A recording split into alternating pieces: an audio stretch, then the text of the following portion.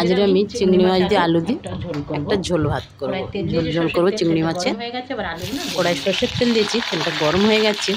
এবার আমি আলুগুলো ভালো করে ভেজে নিই হলুদ আর একটু নুন। দিই সবকটা আলু দিয়ে দিয়েছি এবার একটু নুন আর হলুদ দিই নুন দিয়ে দিলাম হলুদে দিয়েছি। নুন আর হলুদ দিয়ে ভালো করে ভেজে নিচ্ছি। একটু ভালো করে ভাজতে হবে। আলুগুলো আমার ভাজা হয়ে গেছে এবার আমি উঠিয়ে নেব। এই তেলের মধ্যেই চিংড়ি মাছগুলো ভেজে নেব। একটু হলুদ দিয়ে। চিংড়ি মাছগুলো ছাড়িয়ে ধুয়ে পোষা করে রেখেছিলাম।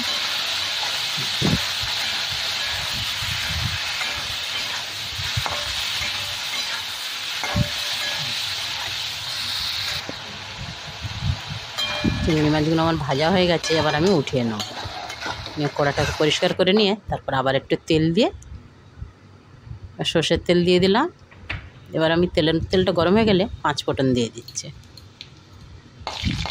পাঁচ ফোটনটা ভাজা ভাজা হলে তারপর একটা পেঁয়াজ কেটে দিয়ে দেবো।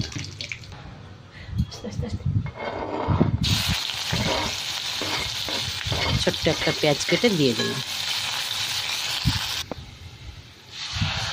এবার টমেটো আর আমি আদা বাটা দিয়ে দিলাম একটা কাঁচা লঙ্কার সাথে। এটাকে এক দু মিনিট ভালো করে ভেজে নেব। তারপর আমি একটু মশলা দিয়ে দেবো। মশলাটা আমি দিচ্ছি একটু লঙ্কার গুঁড়ো, একটু ধনে জিরে পাউডার দেবো। জিরে পাউডার, এবার দিয়ে দেবো ধনে পাউডার।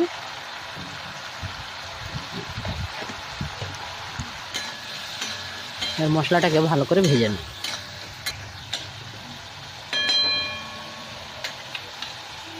নুনটা দিয়ে দিয়েছি, দেখানো হয়নি। এবার আমি আলুগুলো তুলে দিচ্ছি, তেল ছেড়ে দিচ্ছি মশলার থেকে। এবার আমি গরম জল দিয়ে দিব।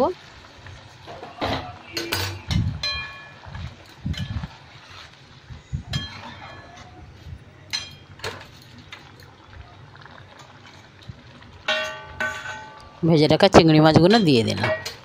দিয়ে আর একটু জল দিয়ে দেবো। দিয়ে দু মিনিটের জন্য ঢাকা দেবো।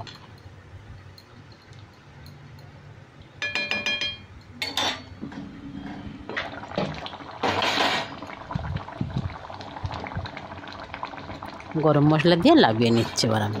আমার চিংড়ি মাছ ঝোল হয়ে গেছে, আলু দিয়ে। হয়েছে একদম মাছের ঝোলের মতো।